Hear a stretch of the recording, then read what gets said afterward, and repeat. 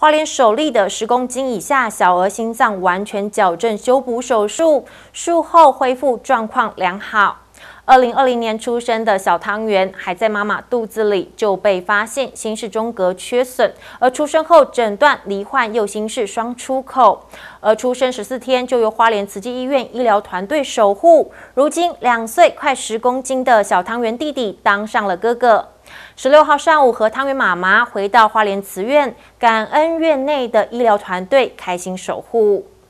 开心吃着杯子蛋糕的小汤圆弟弟，已经是个要照顾妹妹的两岁哥哥。二零二零年出生的小汤圆，还在妈妈肚子里就被发现心室中隔缺损，出生后诊断罹患右心室双出口，出生十四天就由花莲慈济医院心脏外科团队为他进行肺动脉崩扎术，并且安排要在一岁的时候进行花莲首例十公斤以下小儿心脏完全矫正修补手术。我就觉得，哎，怎么会这样？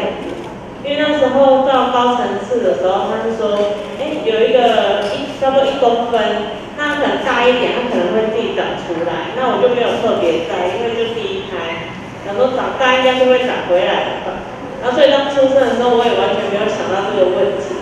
然后到后来医生讲完之后，就是他有经过比较详细的解说，那我就觉得，哎，其实好像也没有那么高，他的专业度上，我就非常放弃。对，所以我才会选择说，哎，还是留在花莲做，就没有说几一定说要转到。邱平云主任表示，新生儿有时可以在产检透过高层次超音波发现先天性心脏病。以小汤圆的状况，右心室双出口，主动脉跟肺动脉都和右心室相接，出生就会很喘，甚至无法脱离呼吸器。如果不接受治疗，就要面对心脏衰竭的险境。小朋友他的心脏病是一个右心室双出口，而且他并没有合并肺动脉的狭窄，也就是说，他的心脏的构造会让他到。呃，肺部的血流量非常非常的大，也就是说，这个小朋友他会遭受一个非常厉害的心脏衰竭的一个现象。那对他的立即性的影响就是他会呼吸非常的喘，他不太会黑，但是会很喘，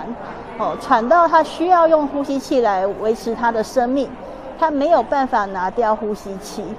哦，那这种结构上的问题。不是我们说，哎，用什么心导管啊，或是用药物就可以控制下来的。所以像他这样子的疾病，我一开始跟家属谈的就是手术，嘿，这一定要手术来治疗。那胎儿的心脏超音波执行上其实有一定的困难，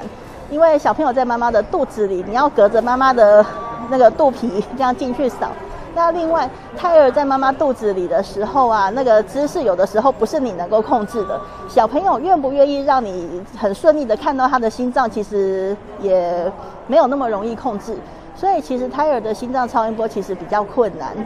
嘿，那那他其实妈妈有去做高层次的检查嘛？那他那个时候就有怀疑，就是有一个先天性心脏病，所以出生之后加上他呼吸喘的关系，所以我们有在帮他。做详细的心脏超音波的检查。小汤圆妈妈表示，很高兴在花莲就能接受治疗，不用特地跑到外县市，避免转送过程的风险。手术后虽然一度出现全身发炎反应，所幸在医疗团队和家人支持下，术后一周成功出院。小汤圆开心手术是花莲慈院成立三十六年来第一例小小年纪进行复杂先天性心脏畸形开刀的成功案例，对医疗团队是重要的里程碑，对华东地区民众来说有更多治疗心脏疾病的选择。记者蒋邦彦花莲市报道。